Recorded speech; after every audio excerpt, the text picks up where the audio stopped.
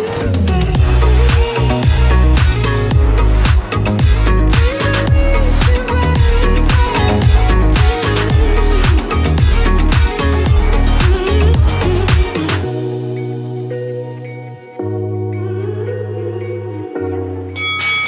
guys, welcome to my channel. Tên của mình là Thảo Nhi Lê. Hello. Hôm nay Nhi đứng đây là một cái không gian rất là khác biệt tại vì Nhi đang đứng ở trong studio gym. À, hôm nay Nhi có một khách mời rất là đặc biệt luôn. Tại ủa, ủa, ủa, ủa. Trời ơi, Sky, hello. Xin chào mọi người đã đến với kênh vlog của Coach Sky Ồ lộn Tao của Nhi hả? Sao buồn cười mà của Nhi Thì hôm nay um, Thật ra thì lần trước là mình có một cái video ở bên channel của Sky. Yes. Và hôm nay mình có một channel của Nhi.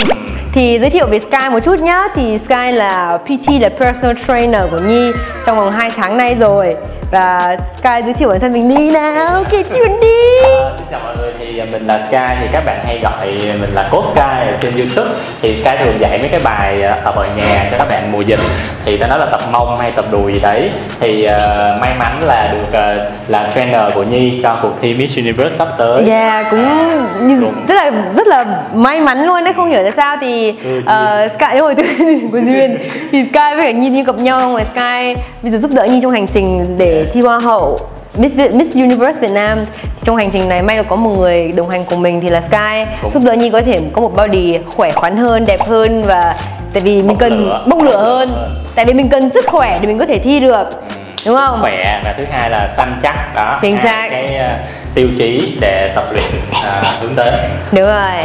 Thì uh, Sky làm uh, nghề PT bao nhiêu năm rồi? Sky làm PT thì à, tính ra là cũng được 6 năm rồi đó Nhi. Ôi 6 năm Ừ, rồi. 6 năm nhưng mà à, mà Sky rất là thích làm YouTube cho nên là Sky mới làm được vài tháng và cũng Ông may dễ thương lắm luôn Kiểu uh, Sky là người mà đầu tiên mà như thế mà kiểu Vietnamese YouTuber mà làm gym là con trai ấy. Tổ độ tổ độ Toàn thấy toàn con gái thôi. Sky làm rất là hay, rất là dễ thương, kiểu thân thiện luôn. Thì nếu mà nếu mà các cô gái mà đang xem video này mà muốn thích biết thêm về những cái Mông mông miết, bụng rồi training ở nhà Thì vào trong channel của Sky mọi người có thể xem xem thêm được về chủ đề. Rất là dễ thương. Rồi, Tập rất là nhẹ nhà. nhàng. Đúng rồi, tập ở nhà cũng được mà. Ừ. Sky đang à, đó tập ở gym thì nay hơn tập của Nhi là mình sẽ tập ở phòng gym.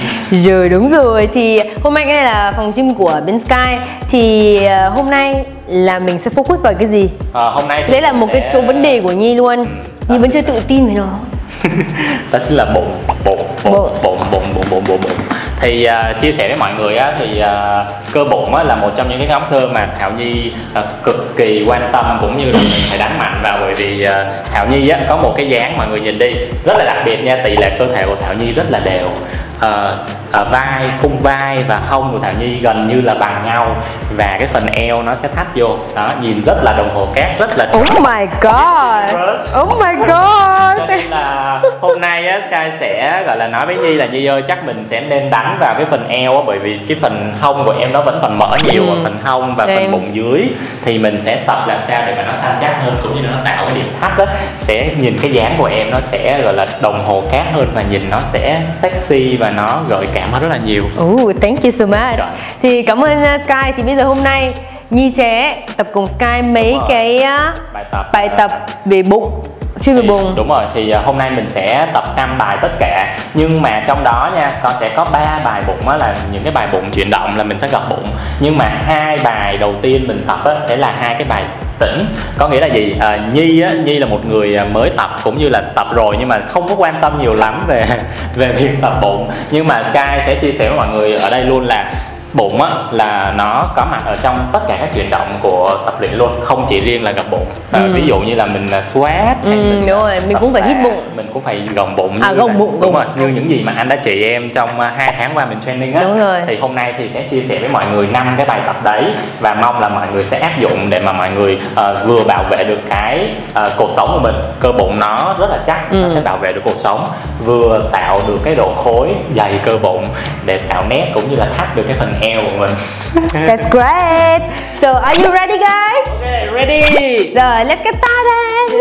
Rồi ok vậy thì chúng ta sẽ đến với hai bài tập đầu tiên mà các bạn hay hỏi là Ủa hai bài tập này sao nó vào bụng được? Ừ. Tại vì nó đâu gặp bụng đâu nhưng mà không nha. À, Đầu tiên thì Sky sẽ chỉ cho Nhi cũng như là các bạn cách thở bụng cũng như là gồng bụng. Exactly. rồi thở bụng và gồng bụng như thế nào? Bây giờ mình sẽ bắt đầu mình tập nha. À, các bạn sẽ lấy một hơi sâu cho sky nè hít một hơi sâu. Rồi như hít đi. Hít nè. Ok. rồi hít nè. Rồi thở ra. Rồi hít lại cho cho anh đi. Đó. Bây giờ em thấy lúc mà em hít hít á em thấy cái ngực em nó bị nở ra nhiều quá không? Có Yeah. là khi mà hít á kiểu như là mọi người đang lấy hơi bằng ngực nhiều quá mà hơi bằng ngực thì nó hơi nông nó hơi bị ngắn. Nhưng mà bây giờ mọi người sẽ ráng làm sao mà lấy lấy lấy dồn dồn hơi xuống bụng cho anh. Có nghĩa là hít một hơi sâu. Bụng căng lên luôn bụng ngực căng luôn. Đó em thấy cái cái hơi nó rộng hơn không?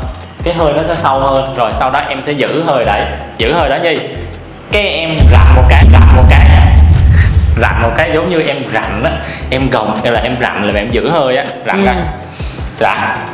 Yes. Đó cái bụng nó cứng lại không cứng lại không? Đó, đây là cái lúc mà chúng ta đang, gọi là, gồng cái cơ kho lại, cái cơ lõm cái cơ trọng tâm á. Thì ờ, cơ bụng của chúng ta ngoài bụng trên, bụng dưới và cơ lên sườn, nó sẽ có một rất là nhiều cái nhóm cơ trọng tâm. Nó nằm ở phía sau sau cái lớp bụng cho nên là mọi người đang tập cái phần cơ đấy và cái cơ trọng tâm chắc á, thì nó giúp mình thứ nhất là bảo vệ cuộc sống này tập không bị đau lưng Ừ. thứ hai là nó giúp cho mình ổn định được cái cân bằng Yes. không có bị lắc lư lắc lư rồi ok bây giờ bài tập đầu tiên để gồng được cái bụng đấy đó chính là bài squat Nhi Squat. Và bài Nhi rất là yêu thích tại vì Nhi làm nó rất giỏi. Làm giỏi. Không ok bây giờ thì à, bắt đầu làm cho anh nha. Thì Ok. squat ở đây mình sẽ không nói nhiều về kỹ thuật à, squat cho lắm nhưng mà mình sẽ nói về cái kỹ thuật thở để mà gồng Ừ. bụng á. Thì đầu tiên nè nhi sẽ bắt đầu nè nhi sẽ mở hai đầu gối ra nha. Nhi xuống xuống. Thẳng rồi rồi lúc lên. Rồi bây giờ bắt đầu lấy hơi này nhi. Nhi sẽ hít một hơi sâu hít một hơi sâu rồi giữ hơi ở bụng mở hai đầu gối ra đi xuống. Rồi rặn một cái đi lên thở. Rồi làm lại nè mở hai đầu gối ngồi thẳng xuống cho anh dạ rồi. Up. Rồi nhi thấy sao? Có vào bụng. có nghĩa là khi mà lên á khi mà em ờ, gồng mông và đùi lên á thì em hãy giữ hơi đấy và em gồng em rặn một cái. Ừ. em sẽ thấy cái cơ bụng rất là chắc. Rồi làm lại cho anh là em mọi người nhìn nha. Mở hai đầu gối nè. Đó. Rồi hít sâu nè rặn nè giữ hơi. Rồi lên. Lên mới thở lên rồi mới thở đã nhi. À, không lên rồi phải, không phải là đang lên rồi thở như vậy á, thì lúc đó ví dụ như anh ví dụ em đang gánh một cái tài nặng đi Ừ. gọi là em đang gần lên cái em mà thở ra cái cơ bụng nó bị sao? Khi mà thở ra cơ bụng sao ta? Thả lỏng À, nó không có cứng nữa. đúng cơ bụng không cứng nữa thì rất có thể vào lưng và Ok. rất có thể vào lưng. Nói chung là phải thở hít vào, xuống, đúng rồi giữ, giữ lên, Lên. hít ra. Ok. cho ok. nên mình mình mình sẽ có một cái nguyên nguyên tắc gọi là nguyên tắc ờ, mặt nước vô hình á có nghĩa là tưởng tượng là mình đang ở trên mặt nước nè Ừ. xong em hít một hơi sâu em xuống dưới lặn nước xong rồi lên thôi. yeah. Ok. à, đây là đây là hít một hơi sâu yes rồi lên ok à, ok cái cuối cùng luôn cái cuối cùng Ừ. luôn mọi người cùng làm với Sky và Nhi nha mở hai đầu gối ra rồi lên đạp ok quá tuyệt vời. Thấy sao? Tốt. đó mọi người thấy không? Yeah. đầu tiên chúng ta sẽ tập gồng Và thường thường mọi người làm khoảng 15 lần. 15 reps ha. 15 Mọi người- reps mỗi một bài tập ngày hôm nay chỉ cho mọi người. mọi người cứ làm 15 reps rồi lên. Mọi người tập trung vào cái hơi thở và gồng bụng là được. Ok Ok, so trước khi mình vào trong bài tập số 2 thì Nhi có những cái assumption là lầm tưởng mà mọi người nghĩ trong đầu thì Nhi sẽ hỏi Sky là Sky xem có những cái từ đấy nó có đúng không? Đúng. Thì cái đầu tiên là no pain, no gain là không đau là không vào kiểu như vậy thì uh, Sky thấy cái từ đấy nó nó có đúng không trong uh, fitness? Ừ. Thì uh, Sky thấy là mọi người hay dùng cái từ đó nó như một cái slogan cho mọi người và ngay cả Sky cũng hay dùng thì câu đó nó cũng có đúng có sai có nghĩa là thật ra nếu mà những người như Nhi đi Nhi mới tập mà tập đúng nó đi thì vào cơ thì ngày mai chắc chắn là cơ mình nó sẽ mỏi nó, nó Ừ. đang bị gọi là bị phá hủy cái những cái cơ á, thì ngày mai nó sẽ tổn thương và nó sẽ mỏi chứ nhưng mà đối với những người như Sky đi gọi là tập lâu rồi thì nhiều lúc tập ngày mai đâu còn nhức nữa đâu gọi là cái độ hồi phục cơ nó Ừ. sẽ nhanh hơn thì như vậy nó sẽ không có mỏi nhưng không có nghĩa là nó không có Đúng vào rồi. cơ cho nên á, cái no pain no gain nó còn tùy thuộc vào cái à, gọi là cái tần suất tập luyện của bạn như nào nè rồi kinh nghiệm tập luyện của bạn ra sao bạn là Ừ. người mới hay người tập lâu và đặc biệt là cái à, thời gian mà cơ hồi phục cái đó rất quan trọng ví Ừ. dụ như nhi là một người mới tập thì à, thời gian phục hồi cơ của nhi nó sẽ lâu có nghĩa Ừ. là nhi, nhi tập mông với sky ngày hôm nay đi thì ba bốn ngày sau nhi vẫn mỏi. Ừ, mình nhưng với Sky thì sẽ tập mông có ngày sau là mông sẽ bình thường cho nên là mọi người cứ ờ, tập hết mình đi và đúng kỹ thuật đi. Còn cái Đúng câu rồi. đó thì mình cũng không cần phải nói chung là không phải là đau mà gãy chân mà đau là kiểu rồi. mỏi ấy yes rồi mọi người bây giờ đến bài số 2 bài số 2 Là bài gì? đây là bài cơ bụng tĩnh nha có nghĩa là mình tập bụng nhưng mà mình không có chuyển động cơ bụng có Ok. thì à, em nghe thấy lạ không có nghĩa là nhiều lúc thì em nghe là mọi người thì nghĩ là gập bụng là phải gập đúng không kiểu như chuyển động đúng không Đúng rồi, nhưng Đây này nè. không chuyển động. đúng không chuyển động mình mình sẽ co cơ và tĩnh này thôi Ok cool. Ừ, Ờ, thì cái dạ, này dạ, đối với dạ. Nhi cũng mới để mình ờ, xem thử maybe Nhi biết nhưng Nhi quên rồi. đúng rồi hay quên bài lắm. Với mọi người là dạy Nhi 2 tháng rồi á nhưng mà à, à, dạy Nhi à, 12 buổi Nhi cũng như là buổi đầu tiên nhưng mà được cái là cũng nhớ nói chung là Nhớ lại. quên Quên thôi nhớ lại. chứ Nhi mà quên hết thì chắc Sky cũng là suy nghĩ lại cái việc ờ, rồi ok vậy thì bây giờ thì Nhi em sẽ nằm nằm nằm ra thảm đi em nằm trườn xuống thảm cho rồi bài này nó sẽ có hai công dụng nha. Cái công dụng đầu tiên á nó sẽ ờ, như cái hồi nãy anh nói có nghĩa là nó sẽ thở bụng có nghĩa là em sẽ biết cách giữ hơi ở bụng gồng cơ kho. Và cái thứ hai là nó giúp cho em cân bằng có nghĩa là học cái cách cân bằng. Ừ. nhiều khi em tập ở mấy cái bài lunge á mấy cái Đúng bài side lunge á, em em sẽ bị gọi là đung đưa đung đưa. Thì những cái bài này nó sẽ rèn cho em cái sự ổn định ở cái cơ bụng. Ok. Ừ. bây giờ thì em sẽ bắt đầu nè đưa tay thẳng lên. Rồi em sẽ đưa tay à, rồi nắm nắm chặt lại cho anh ha. Rồi mình rồi đầu gối em cũng co lại một góc 90 độ À, Ok. đây này. rồi co lại một góc 90 độ cho anh rồi bây giờ thì à, em sẽ duỗi tay này và chân kia. Còn cái tay còn lại thì giữ nguyên. Tay này chân kia duỗi thẳng ra À, duỗi duỗi. À giữ thẳng thế này hả?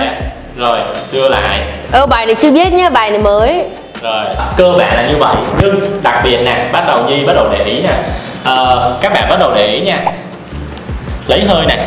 Nhi sẽ lấy một hơi sau hít ngực bụng căng luôn hít yes, rồi, bắt đầu duỗi. Duỗi một tay một chân ra rồi, co lại. Rồi mới thở ra đi. Yes, rồi, làm lại nha. Đúng rồi. Dạ em thấy sao? Em em thấy lúc mà em em em duỗi ra. Một tay một tay, một chân. Em thấy cái cơ bụng mình nó rất là căng không?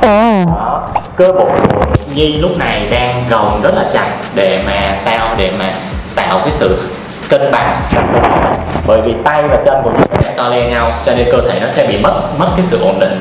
Cho nên là cái cơ bụng nó đang gồng để giữ lại nhi tốt luôn ha. Và các bạn lưu ý là cai là cái phần lúc mà mình ờ, mình nằm á không được võng nha. Có nghĩa là cái phần nhi nó vẫn đang bị võng võng lưng ở dưới này có nghĩa là cái phần phần lưng dưới nó bị nó bị lồi hơn một khoảng một tí xíu cái thảm á. Thì bằng cách gì biết không nhi đơn giản lắm em em sẽ hơi co đầu gối lại xíu. Đó ok không? Nó sẽ vô thảm luôn chưa? Ừ. đó, nhi hơi co lại xíu ok. Rồi làm thành ba cái nữa đó tốt luôn đó các bạn để ý đi. Phần cơ co cơ trọng tâm của nhi này rất gồng rất là chắc luôn. Nó sẽ tạo một cái sự ổn định cho cơ. Ok. Hai cái nữa nè. Nè lấy một hơi sau giữ hơi bụng cho anh. Đúng rồi giữ hơi bụng sau đó. Cái cuối cùng luôn nhi ok là rồi tốt. Đó thấy sao? Nice. Ờ, đó. Khi mà khi mà nhi tập như vậy á, thì à, nhi sẽ cảm nhận được cơ bụng rõ hơn nè. Yes. Tốt hơn mọi người ơi. Nói chung là những cái bài tập bụng ấy là mình phải làm nó kiểu nhẹ nhàng thôi nhưng phải làm cho nó đúng. Đúng rồi làm đúng khi. Rồi nếu mình làm mà nhanh nhanh nhanh nhanh cái này hay là làm kiểu vội vàng nhưng nó không đúng thì nó cũng không vào bụng đâu. Mọi người phải kiên nhẫn một chút một một một cái điều mà Sky luôn nhắc mọi người theo dõi kênh kênh của Coach Sky á, là tập bụng á không cần tập nhiều bài nhưng mà Ừ. tập thật chậm Đúng rồi. cảm nhận cơ trước khi rồi. mà em tập nhanh hay em làm cái bài lằng nhằng quá nhiều bài ha. đúng rồi chính xác ok Alright, rồi trước khi bài tập tiếp theo Nhi lại có một cái assumption tiếp theo Thì nó gọi là người phụ nữ mà tập gym nhiều thì sẽ không nữ tính nữa bị đô đúng không Bị đô, đúng rồi, bị đô Trời ơi cái này hỏi quá nhiều luôn á. Ngay cả em lúc mà anh mới training cho em Anh nói em tập squat cái đuôi đùi to lắm anh ơi. Anh tập vai cái cổ em bị đô hết rồi Trời ơi con gái á, tập tạ có bao nhiêu ký đâu. Có hai ba ký thì sao đô. Thì thứ nhất đó là về cái cấu cấu tạo sinh học á. Thì uh, con gái thì nó sẽ người ta sẽ có nhiều estrogen là một cái hormone. Ừ. thì con trai á, đô là do nó có nhiều cái hormone uh, testosterone á. Testosterone yeah, thì ừ. testosterone là một cái hormone nam. Nó sẽ có biểu hiện bằng cách là cơ bắp nhiều nè rồi ừ. lâu rồi lâu nhiều thì đó. Mà cấu cấu tạo sinh học con gái thì nó sẽ rất là ít. Và cái tỷ lệ cơ thì nó hầu như là nó bằng rất là rất là ít luôn đó cái tỷ lệ ừ. rất là nhỏ. Nói chung là để mà mà đô lên ấy thì phải tập rất là nặng. Em thấy mấy cái vận động viên nữ thể hình không? Ừ. mà đô đô đô mà em thấy rất là ít người như vậy không? Ít người. Mà để mà họ đô như vậy á thì họ phải tập rất là nhiều. Rất là nhiều. và có thể người ta phải uống thuốc nữa hay là gì đấy Nhưng ai biết được. em thấy họ vẫn đâu đô bằng con trai được. Ừ. họ chỉ ở một mức nhất định thôi ừ. cho nên mọi người cũng phải để ý là con gái tập không có đô mà nó rất là săn chắc nha và ừ. nó sẽ gọi là sao à, cơ thể khi mà nữ săn chắc là nhìn nó không bị lùn bụng mà nhìn rất là ừ. đẹp sexy That's right. Ok. Bài số 3 là gì? Rồi ok, bài số 3 thì bây giờ chúng ta sẽ tập những cái bài à, bụng uh, chuyển ừ. động. Con Nằm xuống nữa. Okay. Thì uh, bây giờ mình sẽ tập uh, cơ bụng trên trước nha. Thì cơ bụng trên là cái phần cơ nó sẽ tạo được một một cái gọi là cái đường rãnh bụng nó nằm ở đây đúng không? Dạ, yeah, mọi người thấy không? Ừ. Đó. Nhi có một tí thế này. Thì uh, nếu mà Nhi tập nhiều quá thì cái rãnh bụng nó sẽ sâu hơn ừ. và nếu mà tỷ lệ mỡ của Nhi thấp thì cái rãnh bụng nó sẽ sâu hơn và nó nét hơn rồi bây giờ nha thì bài này là bài uh, sit up sit up thì uh, nhi sẽ co đầu gối lên ha co hai đầu gối lên đưa lên đây uh, bây giờ mình sẽ để đợi xíu anh sẽ lấy một cái ghế. Rồi. Rồi nhi, nhi sẽ để lên đây. Đúng rồi. Thì là chair sit up thì nó sẽ dễ hơn. Ừ. rồi bây giờ mọi người sẽ bắt đầu mọi người chú ý nè. Rồi bây giờ nhi nhi đưa hai tay ra sau ha. Rồi nhi từ từ nhi co bụng lại ha. Rồi xuống. Co lại đó rồi chậm thôi nhi. Mỗi lần mà nhi gập lên á nhi cứ tưởng tượng là cái cằm của nhi đang cắm vào ngực của em. Ừ, ok. Rồi ok go. Thì có phải là bạn các bạn để ý là cái bụng nó sẽ cuộn lại không?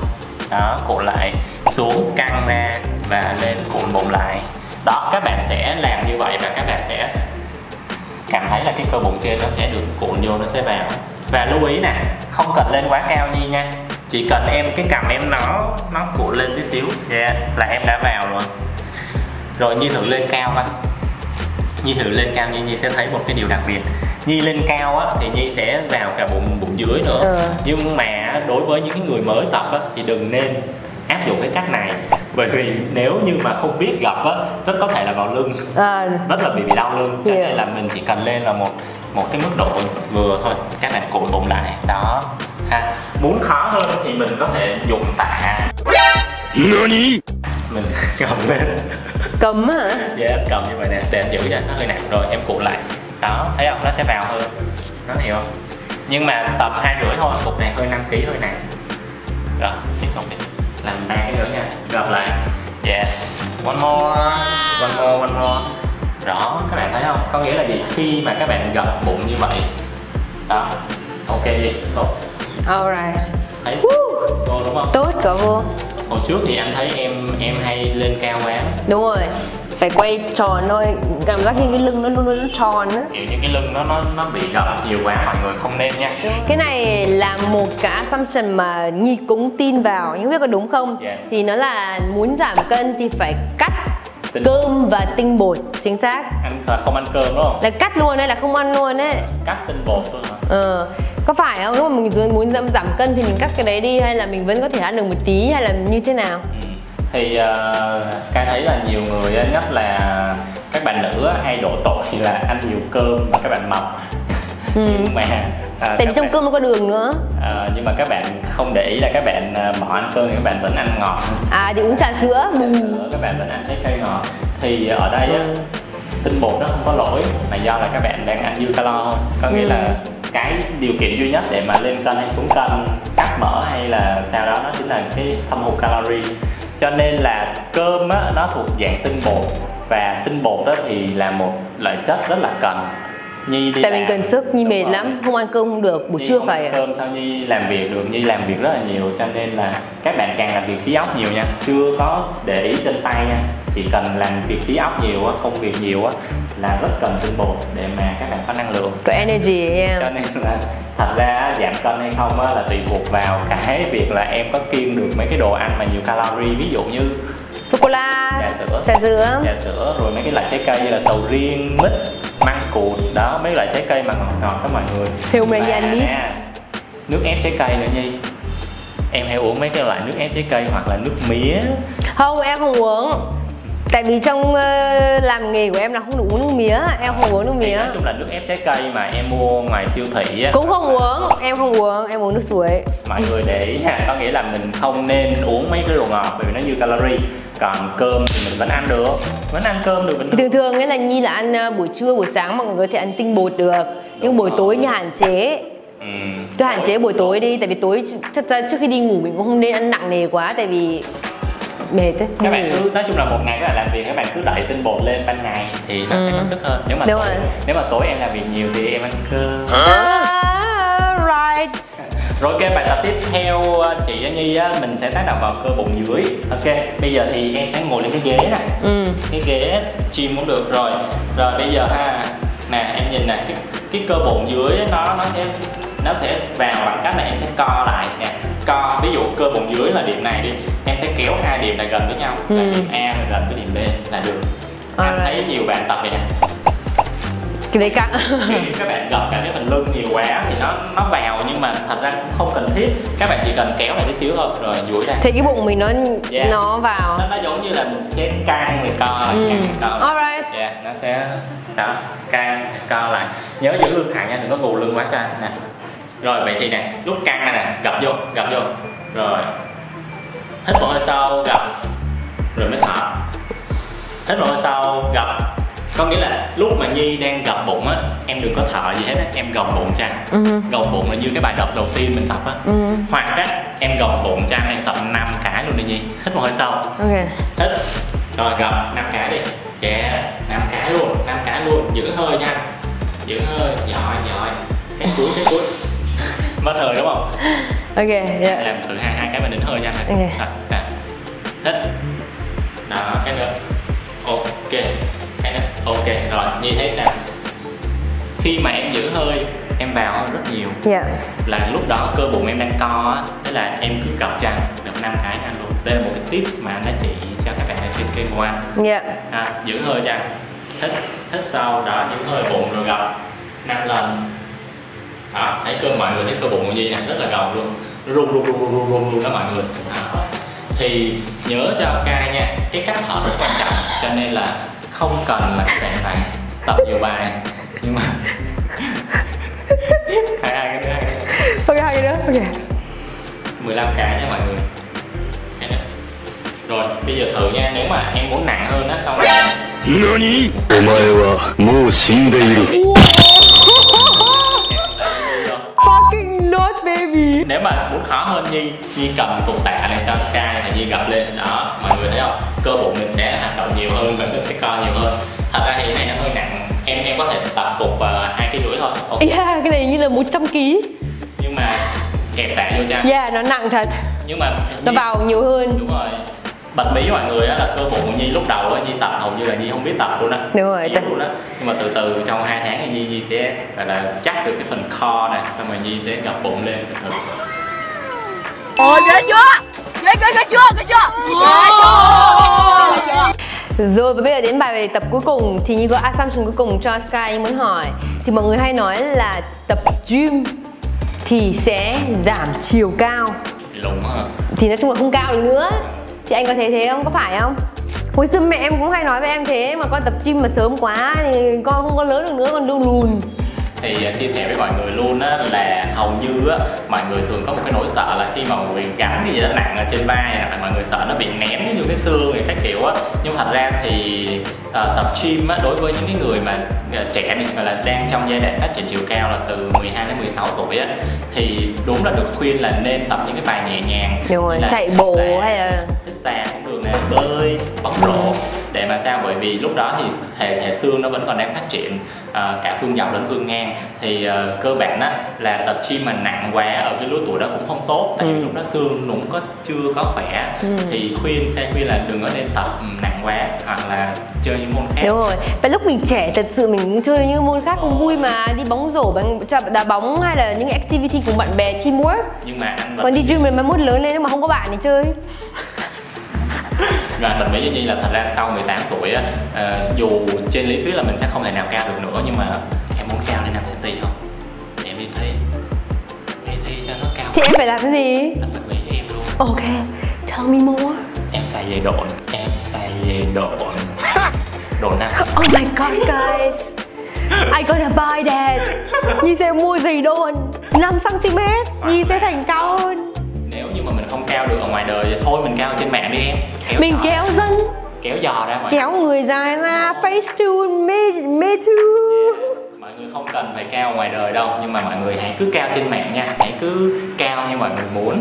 Xong rồi ngoài đời mọi người đùng tịt như là ca cao một mét tám. Nhưng ngoài đời mới 50 Alright, đến bài cuối cùng nhá. Ba Tiếp theo nữa là posing Có cách ngồi để cho nó không có lòi mỡ. Sky show cho mọi người Rồi bây giờ hôm nay mình đã tập 5 bài. Yeah. Cũng khá là dễ, mọi người có thể tập ở nhà được. Để duy trì nếu mọi người có thể ngày nào cũng tập được hay là every second day. Cũng tốt. 15 reps. Và trước khi mình ờ, kết thúc cái ngày video ngày hôm nay thì Nhi có một assumption cuối cùng nữa Và Nhi nghĩ là cái đấy cũng quan trọng. Ừ. thì cái assumption đấy là mọi người nói là nếu mà mình bây giờ đang tập gym mà mình tự nhiên dừng thì mình Dạ. sẽ lại sồ ra lại bị sổ bị kiểu lại béo lại nhá Gọi là bị xế nài đó mọi người. Nái xề đó. Thì có phải không? biết từ đâu không? Biết. Nái xề. Nái xề là gì? Nái xề là xế nài đó. Cái xế này là gì? À, mọi người cũng biết là cơ thể của mình là một thực thể sống cho nên là cơ và mỡ nó luôn luôn nó thay đổi. Ừ. thì tất nhiên rồi có nghĩa là hả, đâu phải là bức tượng rồi sỏi đá đâu em mà không bị mất đi. Thì khi mà em xây dựng cơ bắp lên đúng không? Em có mông này nọ cái em không tập nữa em bỏ thì tự nhiên là cơ nó sẽ mất đi một phần. Ừ, và mỡ sinh ra. Không và lúc đó em phải hiểu một điều là khi mà em tập gym á thì cái tỷ lệ đốt mỡ của em rất là cao. Ừ. có nghĩa là em có thể ăn ăn cheating nhưng mà em không bị lên mỡ nhiều. Ừ. nhưng mà em ngừng gym cái đi. Em Mà em vẫn ăn y hệt như vậy. Ăn y dụ em lâu lâu em cheating hoặc em cheating nhiều hơn chắc chắn cheating nhiều hơn là mỡ em lên rất là nhanh. Và tự nhiên em thấy là ôi sao mà tự nhiên bị lên mỡ và bị bị Ừ. bị nái xề á. thì thì như vậy thì có thể nói có nghĩa là bị xề bị xồ xề đó em. Hay mỡ thì nói chung là quan trọng là mình duy trì tất cả những cái gì mình làm nói chung là thể thao cũng là một cái mình phải duy trì không phải là mọi người tập 3 tháng kinh kinh khủng xong rồi nhiên lại 3 tháng thôi. Tốt nhất là mọi người tập kiểu đều đều đều đều đều đều. Đúng rồi. nó là phải thành một cái là- lifestyle của mình. Đúng rồi. Không phải là mình ngày một ngày hai. ngày một ngày hai đúng rồi. Sky luôn đó là một cái điều mà Sky luôn luôn nhắc đến mọi người đó chính là hãy xem fitness nó như là một cái lifestyle Đúng rồi. cuộc sống của mình. Nhưng Là mọi người điều- phải ăn thì mọi người cũng phải tập. Chính xác. là điều mà em muốn làm như nhi chứ không phải em bắt buộc phải làm. Ừ. dù em có thi Miss Universe Việt Nam hay không thì em cũng sẽ phải ráng để em sao có một cái body tốt đẹp mình tự tin khỏe. hơn đúng không Dạ. quan trọng là mình đẹp thì mình tự tin Chính thì ờ, trong hàng ngày mình cũng cần cái sự tự tin đấy để mình có thể tỏa sáng trong công việc trong văn phòng ở ngoài đường được trong club wh- wherever Thảo. Nhi Lê 27 thành phố Alright, rồi hôm nay đủ xả mới Chào mọi người nhá. Rồi, cảm ơn mọi người. Hôm nay rất nhiều là mọi người đến YouTube channel của Nhi. Thank you for watching. Và cảm ơn Sky. Hôm nay là Sky đến cùng Nhi để quay cái video này. Nhi cảm thấy rất là vui hôm nay luôn. Nhưng mong mọi người thấy thấy rất là vui. Xúc động lắm luôn đó Oh my god, please don't cry, don't cry, don't cry. Rồi, và nếu mọi người thích những cái video kiểu fitness này cùng Nhi với Sky thì mọi người comment below Còn nếu mà mọi người thích thì Sky Nhi sẽ quay thêm mấy cái video kiểu này. Yes. Rồi mọi người đừng quên like và subscribe nhé. Kênh Ding, của ding, Sky ding, ding. nha. Bye. Kênh của Sky, kênh của Nhi. Bye guys. Bye bye mọi người